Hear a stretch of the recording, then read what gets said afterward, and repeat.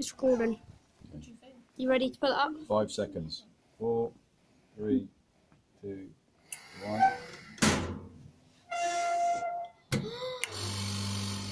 Ooh, that is so satisfying.